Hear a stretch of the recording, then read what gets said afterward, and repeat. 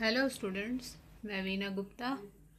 आज आपको मैं बीएसटी बताने जा रही हूँ। ये आप लोग के लिए बिल्कुल नया सब्जेक्ट होगा, क्योंकि अभी तक आप लोगों ने स्कूल में से नहीं पढ़ा होगा। इसलिए बिज़नेस स्टडीज़ जो आपका है पोर्शन उसमें एक चैप्टर आपको पढ़ना है बिज़नेस व्यवसाय। बिज़नेस क्या होता है? आज उसके बारे में जस्ट आपको बताना चाहते हैं। बिज़नेस एंड इंट्रोडक्शन बिज़नेस में क्या होता है? बिज़नेस में एक इकोनॉमिक एक्टिविटी होती है, जो कि बिज़नेस जो होता है, वो बिज़नेस प्रोफेशन और एम्प्लॉयमेंट यानी आर्थिक क्रियाएँ जो होती है, उसमें व्यवसाय, पेशा और एम्प्लॉयमेंट इन तीनों का एक सम्मिश्रण होता है या कह सकते हैं मिला जुला रूप होता है।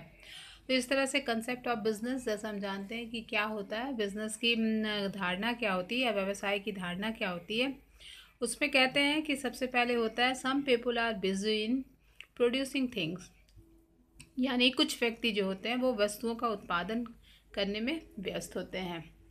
दूसरा जो इसका होता है some people are busy in buying and selling things यानी कुछ व्यक्ति जो होते हैं, वो वस्तुओं के क्रय विक्रय में व्यस्त होते हैं।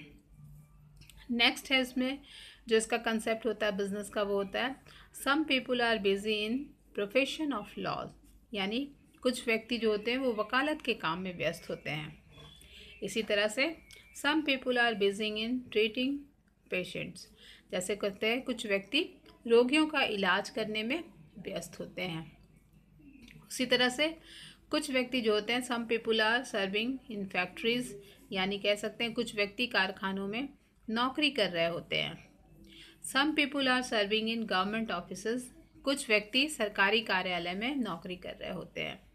उसी तरह से some people are busying in propagating religion यानी कुछ व्यक्ति धर्म प्रचार में व्यस्त रहते हैं, या कह सकते हैं कि वो उसका प्रचार और प्रसार करते हैं। Some people are busying in doing social work यानी कुछ व्यक्ति जो होते हैं वो देश की सेवा में व्यस्त होते हैं। इस तरह से हम कह सकते हैं कि बिज़नेस का जो कंसेप्ट होता है, वो अलग अलग होता है, उसमें अलग अलग ढंग से लोग बिज़ी होते हैं। कुछ उसे धर्म के काम से जोड़ते हैं कुछ उसे रिलीजियस काम से जोड़ते हैं, कुछ इकोनॉमिकल से जोड़ते हैं और कुछ नॉन इकोनॉमिकल से जोड़ते हैं। यानी हम कह सकते हैं इन सभी क्रियाओं को एक मानवीय क्रियाएँ या ह्यूमन एक्टिविटी भी कह सकते हैं। यदि देखा जाए तो सभी क्रियाओं को मुख्यतः दो भागों में बांटा जा सकता है। एक ऐसी क्रियाएँ होती हैं जिससे धन उपार्जित किया जा सकता है और कुछ ऐसी क्रियाएँ होती हैं जो धन उपार्जन के लिए नहीं, बल्कि मानसिक संतुष्टि के लिए की जाती है। जैसा हम लोग ने देखा कि पहली प्रकार की क्रिया को जैसे आर्थिक, इकोनॉमिक एक्टिविटी कह, कहते हैं, तथा दूसरी प्रकार की जो क्रियाएँ होती है, उसे नॉन इकोनॉमिक एक्टिविटी कहते हैं।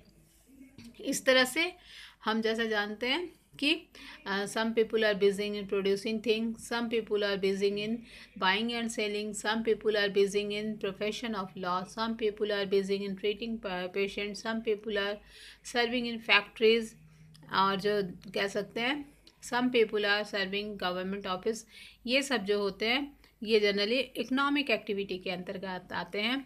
उसी तरह से नॉन इकोनॉमिक एक्टिविटी उसे कहते हैं, जैसे कह सकते हैं some people are busying in जैसे धर्म के काम पे जो बिज़ी रहते हैं उनके लिए, या some pípul are doing social work इस तरह के जो होते हैं, उन्हें हम नॉन इकोनॉमिकल एक्टिविटी में जोड़ सकते हैं। इस तरह से इन को हम तीन श्रेणियों में अलग अलग बांट सकते हैं। पहली श्रेणी जो होती है, उसका संबंध जो होता है, वस्तुओं के उत्पादन तथा क्रय विक्रय से होता है। दूसरी श्रेणी का जो संबंध होता है, वो विशेष ज्ञान से होता है। तथा तीसरी श्रेणी का जो संबंध होता है, वो नौकरी करने से होता है। यानी पहली श्रेणी जो होती है, उसे हम व्यवसाय कहते हैं या बिज़नेस कहते हैं। दूसरी श्रेणी जो होती है, उसे प्रोफेशन कहते हैं, यानी पेशा कहते हैं।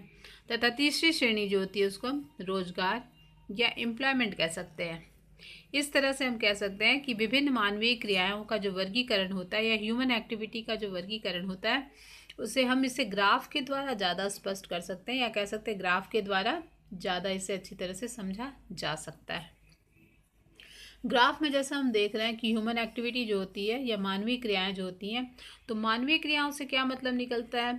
मनुष्य की जो आवश्यकताओं की होती है, वो संतुष्टि के लिए जो भी क्रियाएँ की जाती हैं, उसे हम मानवीय क्रिया कहते हैं। यानी अपनी कार्य की आवश्यकताओं की संतुष्टि के लिए जो एक्टिविटी करते हैं। मानवीय आवश्यकता धन से संबंधित भी हो सकता है और मानसिक शांति से संबंधित हो सकता है। इसमें दोनों भी हो सकते हैं। इसी आधार पर इसे हम दो भागों में बांट सकते हैं। ह्यूमन एक्टिविटी को हम दो भागों में बांट सकते हैं। पहला आपका आता है इकोनॉमिक एक्टिविटी दूसरा आता है non economic activity economic activity में क्या होता है? इकोनॉमिक एक्टिविटी में होता है वो क्रियाएँ या वो एक्टिविटी जिनका उद्देश्य जो होता है वो धन कमाना होता है, उसे हम आर्थिक क्रिया कहते हैं। जैसे जैसे हम कह सकते हैं वस्तुओं का क्रय विक्रय करना, ये धन कमाने के लिए होता है। दूसरा होता है वकालत का काम, जैसे लॉ, वकील लोग जो करते हैं। तीसरा होता है किसी कारखाने में नौकरी करने का काम।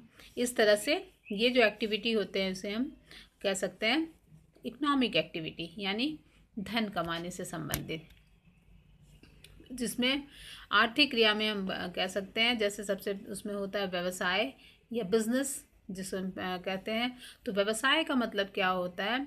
व्यवसाय का व्यवसाय का मतलब होता है उस आर्थिक क्रिया से होता है जो निरंतर या रेगुलर आधार पर वस्तु तथा सेवाओं के उत्पादन तथा विक्रय के लिए, लाभ कमाने के लिए की जाती है। जैसे मान लीजिए किसी कपड़े की दुकान या ट्रांसपोर्ट आदि का जो काम होता है इसे हम कह सकते हैं। कपड़े की दुकान पर क्या होता है कि वस्तुओं का क्रय विक्रय होता रहता है। ट्रांसपोर्ट पर क्या होता है वस्तुओं और सेवाओं का आ, माल आ, मतलब ढोने का काम होता है। ट्रांसपोर्ट में कोई नहीं बेचती बल्कि माल को एक स्थान से दूसरे स्थान पे पहुँचाने का काम करती है। इस तरह से उसके बदले में वो कैरेज चार्ज लेती है। तो इस तरह से हम कह सकते हैं कि व्यवसाय का मतलब वही होता है कि लाभ अर्जन करने के लिए जो निरंतर काम किया जाए वो वस्तुओं का उत्पादन भी हो सकता है, क्रय विक्रय हो सकता है। वैसी क्रिया को या वैसी एक्टिविटी को हम बिज़नेस एक्टिविटी या बिज़नेस कह सकते हैं। दूसरा है प्रोफेशन या पेशा। पेशा का मतलब क्या होता है? जैसे हम लोग देख रहे हैं उसमें, पेशे का मतलब होता है उस आर्थिक क्रिया से होता है या इकोनॉमिक एक्टिविटी से होता है जो एक विशेष ज्ञान तथा कुशलता प्राप्त व्यक्ति द्वारा समाज के विभिन्न वर्गों को निष्पक्ष सेवा के लिए की जाती है। जैसे कह सकते हैं इसमें लेकिन एक क्या होता है कि उसके लिए एक विशेष ज्ञान और कुशलता, यानी स्किल होना चाहिए और उसमें उसको ज्ञान होनी चाहिए। वैसे व्यक्ति द्वारा समाज में जो कह सकते हैं कि विभिन्न वर्गों को निष्पक्ष सेवा दी जाती है, उसे हम प्रोफेशन कह सकते हैं। जैसे वकालत होता है यानी लॉ कह सकते हैं। मेडिकल हो सकता है यानी मेडिकल जो देते हैं या डॉक्टर को कह सकते हैं।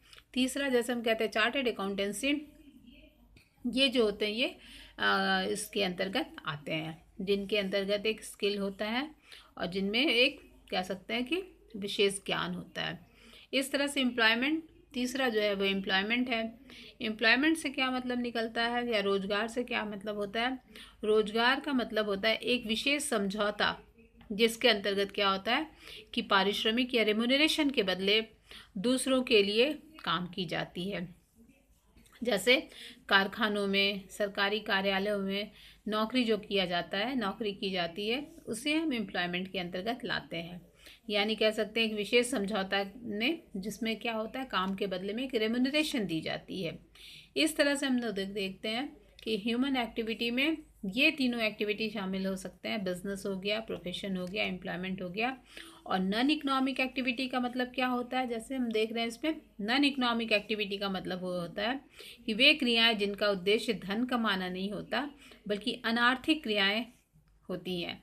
जैसे धर्म का प्रचार करना, देश सेवा करना इत्यादि जो होता है उसे हम नॉन इकोनॉमिक एक्टिविटी में कहते हैं, जिसमें पैसे कमाए नहीं जाते, बल्कि सोशल वर्क या अपनी मानसिक संतुष्टि के लिए या जो किया जाता है, उसे मानसिक शांति के लिए किया जाता है, उसे हम नॉन इकोनॉमिक एक्टिविटी कहते हैं।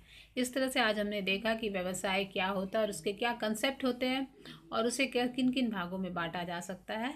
आज हम लोग इतना ही रखते हैं। नेक्स्ट डे फिर हम लोग इसमें आगे कंटिन्यू करेंगे. Okay thank you